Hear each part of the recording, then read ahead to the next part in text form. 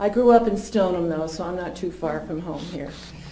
Uh, The EMR Policy Institute, uh, the reason we exist is to do things like this, hopefully educate the public on exactly what the regulatory policy and history is in the U.S. Again, I'm very happy to be here in support of the cell phone right to know legislation. I think it's something that can be done, isn't very costly, which is always a big hurdle to get over to try with any legislation. It doesn't, it's going to cost anybody a lot.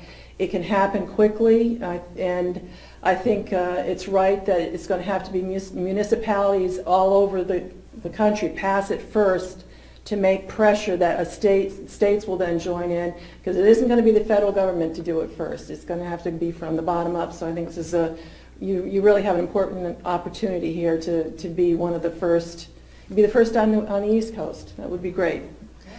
Um, What we have found, we, we came uh, into, we organized 2003, uh, growing out a couple of previous organizations, but our goal is, besides public education, is to track what's happening uh, in the U.S. It's at the FCC, even though there, there are some other agencies involved in the safety aspects of exposure, but track what's happening at the FCC.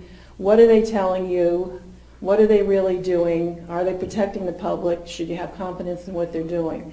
You've heard a lot about the cell phone discussion. The other end of that is the antenna sites. Your cell phones are not going to work if there aren't antenna sites out there. So uh, starting in 2011, we conducted about a two-year uh, investigation of antenna sites that are on rooftops around the country in different states. We chose rooftops because any, a lot of different people have access to them. It isn't just phone company workers that may be on the rooftop near the antennas. You could have workers, roofers, people that have to repair the roof, people that have to repair air conditioning, people that have to repair elevators. All that stuff is up on the roof. And there, there are FCC regulations that are supposed to uh, control what people are exposed to in an occupational situation.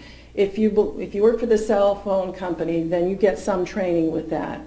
If you're the roofer or the, um, the um, elevator repair guy, you're not supposed to be up there unless somebody has trained you and that, and that you have the ability to control your environment. In other words, you're supposed to be able to call in, I'm on the roof, shut the antennas off till I'm done. That's what, the way it's supposed to be. Or there's supposed to be barriers so that you can't get close enough to the antennas to be uh, in the danger zone. Or there should be signage, or the roof, the door to the roof should be locked. This is what we were looking at. Is the FCC enforcing any of this? And uh, if you want to go to our YouTube, go look at EMR policy up on YouTube, and you'll see there's several videos there of the work that we did. You'll see that signs aren't there, or the barriers are falling down, or there are supposed to be numbers to call on the signs. So say if you are the roofer, can I call up and find out from this company, I'm on this spot, will you turn the antennas down while I'm working, or what should I do to be safe? You'll hear the recordings of the calls. It was pitiful. We found most of this, we, well, we sent in written, uh, written complaints to the FCC, which is how you're supposed to report this. We sent over 100 of them, uh, and showing sites that are out of compliance. Seven of them were in Massachusetts. And uh, there was one in Worcester that was, um, if you want to, you can email me, I can send it to you if you want to see, but we, we took the, the expert who did the um, investigation for us, had his meter, took a picture of me, the reading of each of the meters on these locations to show whether, whether it was in compliance. And the majority of them, you would see O hyphen L, which means over limit. They were over the limit for general public uh, exposure. So here you have these workers up there on the roofs, no, some, if they've had no training, they don't even know they're in a danger zone. And this is multiplied by how many times?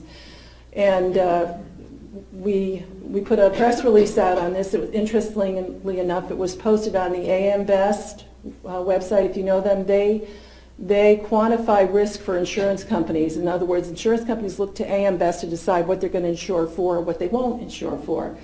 In uh, February of uh, 2013, AM Best had put out its own report putting fracking, nanotechnology, cyber attacks, and radio frequency exposure to workers all in the same category as emerging risks with long tail consequences. In other words, it may take you years for, to find out what, what the, the actual risk will be. So they were advising against insurance companies insuring on those. They, they put that on February of um, 2013. We put out a press release on our um, study in March of 2013, and they posted it on their news site. So they, they thought what we did was credible. And then later, uh, it was in October of 2014, some of you might have seen the article in the Wall Street Journal on this. They came to us, we were the, we were the basis of the, their uh, research for that article. They didn't name us, that's okay, as long as the, the news got out there, fine with us. But the point to be made here is that the FCC is not enforcing the limits we're living under. The limits we're living under are flawed, as, as you've heard so far. Uh, the limits, the, the safety limits we have only consider thermal injury. Am I going to get close enough to that antenna array or am I going to have the cell phone up to my ear and it's going to put out enough radiation to burn me or to, you know, to cause skin irritation or if you're on the, you know, if, if you're on a rooftop, you're going to start feeling sick and you need to leave before you throw up. You know, that's, that's what the safety limit is. And our investigation was to look at, is the FCC enforcing that? We think that's inadequate, again, as you heard from Dr. Uh, Sharma. There are many, many other effects that happen at much lower uh, levels that are they're totally ignored by the FCC. Well, our study showed that they don't enforce the limits that they have. We have learned they did put out a consent decree with one provider, Verizon, for sites in the Philadelphia area and the and the Hartford, Connecticut area, which we, we reported on sites there. They won't tell us if they're the same addresses that we submitted, but I don't know anybody else who was doing this. uh, so they, they, they cited Verizon on those two areas. We reported probably about 10 sites in those two areas.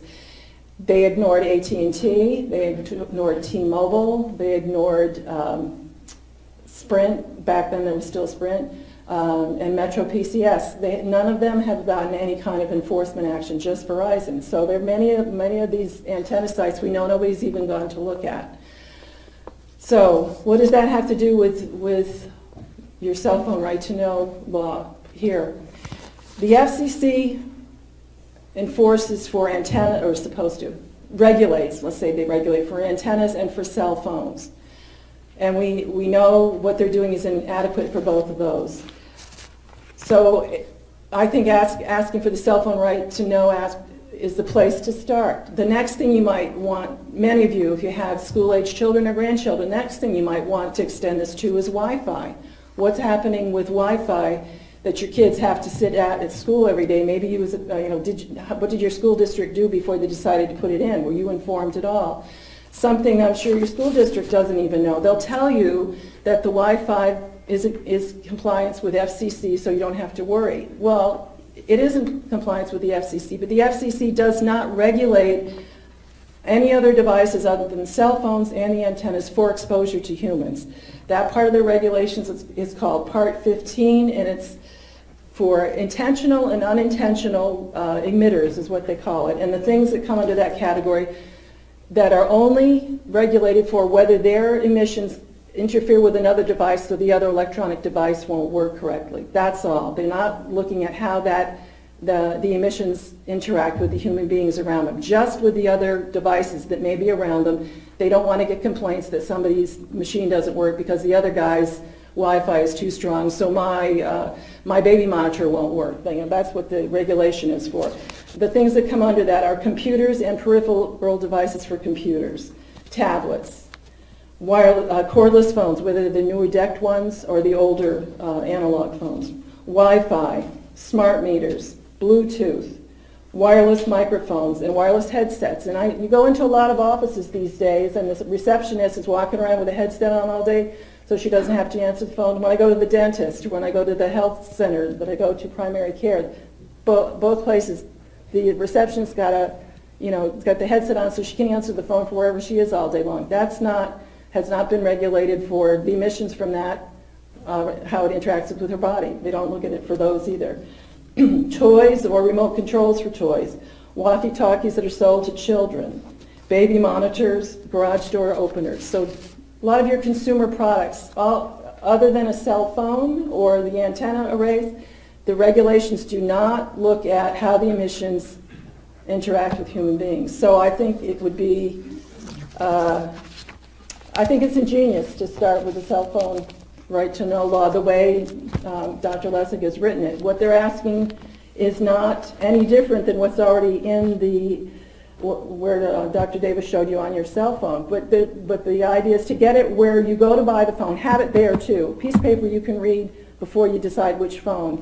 Instead of going home, buying the phone and not finding it until you get, you know, go through all these steps to get to it, or you read the fine print. If you've looked at the uh, manuals that come with uh, cell phones and smartphones, you know, the print's about this big and it's on page, one page here with 186.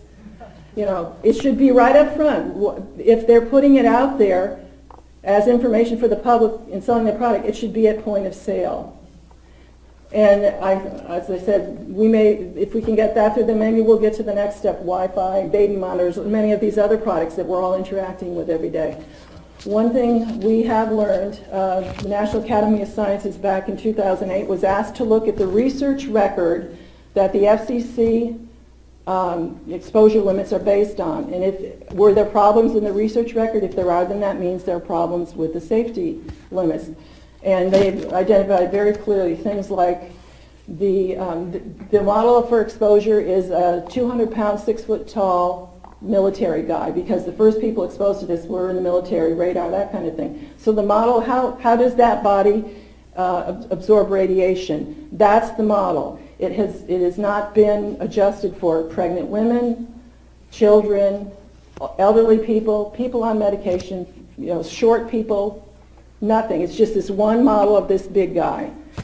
Uh, The, the research that the standard is based on does not look at long-term exposures. They were just short-term exposures and they extrapolated it out. They didn't actually do the studies for long-term exposures. Um, There are not studies of how does radiation interact with metal around your face. For example, you have metal frame glasses, or if you're a teenager with braces, or you've got metal earrings and you're holding a cell phone up to your head, it's going to react differently. The, the metal is going to act like a light, uh, the radiation will act with it like light on a mirror. It reflects it and it, and it, it behaves differently around metal than it does when you're holding it, when you're somebody with no glasses or no, no pierced earrings or no, you know, whatever piercing. And the other, the other thing about that is implanted medical devices. there, the, uh, the research literature that our standards are based on only was published before 1986. Lots of things have changed since 1986. One of those things is how many people have implanted medical devices that are electronic. So if you hold up a cell phone or you have a, a um, computer in your lap or any, any other type of thing, how many children have cochlear implants for hearing and then you put a cell phone up to their. So there, there are many uh, situations uh, that we're exposed to everyday common things now that uh, the safety standards didn't even look at. So you need to have more information and a place to start is with the information the manufacturer is giving you about how to use your phone safely. So uh, I, I strongly encourage you as a town here in, in Framingham to take this on. I think you'd really be breaking ground. Thank you.